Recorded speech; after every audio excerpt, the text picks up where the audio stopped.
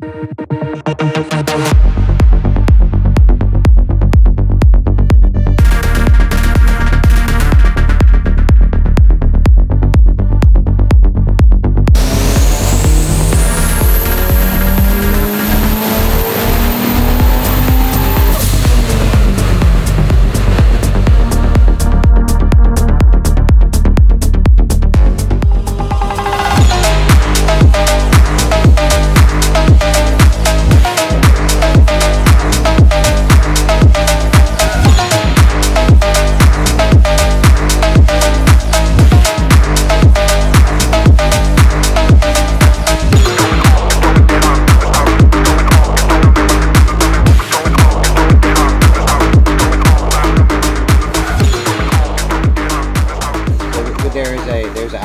sensor on the the On the Tremec. transmission, you can Yeah, use we just that? haven't hooked it up yet. Yeah. When you hook that up, Yeah. then it'll be able to say, okay, the engine's going, I don't know, 3,000 RPMs. And that makes total sense. and then the drive shaft's going this many RPMs, it must be this gear ratio. Yeah. And then it'll Yeah, it'll actually put first, second, third. It's just not going to actually um, know the be gear ratio until the vehicle like moves. It's not an Yeah, instantaneous reading. Sure. But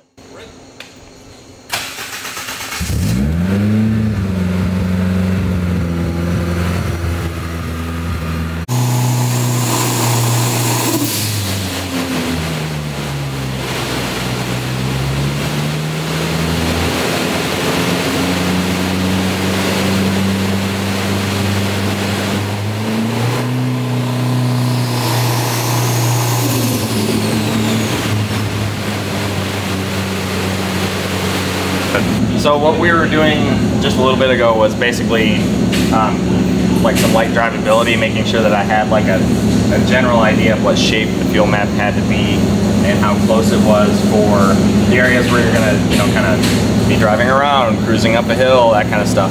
Um, and it gave me a pretty decent idea of what shape this should be as like kind of a rough draft. Um, and it's safe enough for us to maybe do like a light pull on it now. But um, this is the main fuel table and it's in milliseconds is the way that I'm viewing it right now. That's the amount of time the injector is staying open for.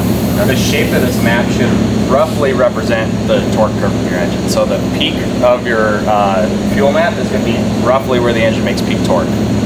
Um, and then, uh, like, we can change the units here to different things like duty cycle and F6. Uh, duty cycle and pounds per hour uh, to be able to look at uh, it in a different view. But if you look at it in pounds per hour, for example, Yeah. this looks like a horsepower curve. That's because it's fuel flow over time. So it's going to kind of roughly represent like a, a horsepower curve. Um, and then when you look at it in milliseconds, your engine's going to consume the most fuel per revolution, if you want to call it that, at peak torque. So that's why you're going to have kind of like a, it's going to sweep up, it's going to come to some sort of a peak at, uh, you know, within a certain RPM for a couple hundred RPM, and then it will kind of drop off. Um, if your fuel map has kind of any like lumpy, bumpy stuff or anything like that, typically it's either caused by some other weird mechanical problem, fuel delivery, something like that that's wrong, and that needs to be fixed so that way your fuel table actually can look properly, or it was just you know, not dialed in properly to begin with. So just because this is like a smaller four cylinder and it's going to make peak torque later, where like the V8 for example, like you say you have like a big cube V8 or something where it's going to make more lower end torque. So you basically saying this would be a little bit more like Yeah. raised, faster, like a little It, bit. it could be. So like this also has variable cam timing, and it also has VTEC. So like you'll see, I have some breakpoints here for where I'm expecting to do that. When the VTEC of like you know Honda style VTEC turns on, Yeah. it's like an abrupt change in in uh, the way that the camshaft behaves. So sometimes you'll have like a step that you have to put in there, but we're not gonna run the VTEC right now. I want to actually just get a decent shape, and we'll keep it at like whatever the spring pressure is, right?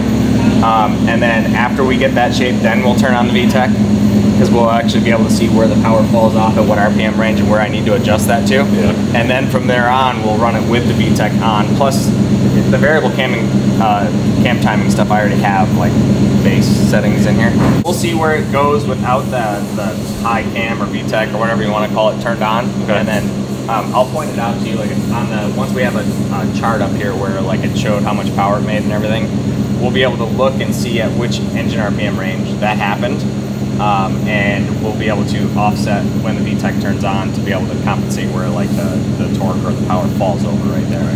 Basically the reason they do that is to make it so that it has decent driving manners and it's not all like lumpy and choppy and stuff like that at low RPM. And then when you want to have higher RPM power, that was an early solution to um, variable cam timing. They didn't really have like normal Right. modern day variable cam timing Yeah. when VTEC initially came out. And I think it kind of stayed kind of just like a hot thing. Yeah. I'm sure there's other benefits to it, but that was the general idea of having like a, a more racy camshaft for higher end power and then having like a stock or like lower profile cam at low RPM so that you could have both.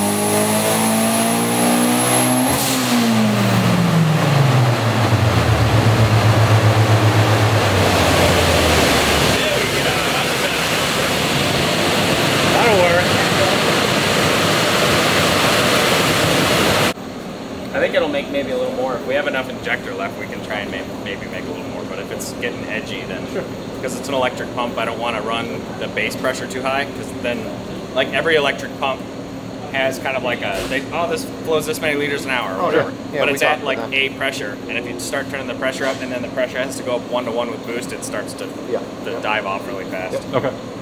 We're heavy now? Eight. Eight. Eight. How high can we think you go? Stock, you- they go 80, 8,000, 8,200. Yeah. But I think, I think it I, I think it will go to nine if I wanted It wants to go, that's what it I just don't know if it'll stay like that. I, I don't think I want to push it to. Pat, I don't want to push Yeah. it It'll gain a eight. bunch of power just RPM on is like RPM. timing. You don't I need know, that much. I know. You, you can make disassemble really quick. Yeah. Auto Yeah. disassemble. Yeah. Auto disassemble in Wow. We don't, No, we no. don't need that. No, we I don't hate need that heartache. I don't need to No. drive home with that. Yeah, no, ain't cool. We all know. I think eight's safe. Okay, it's safe. I think eight is safe. I like. Um,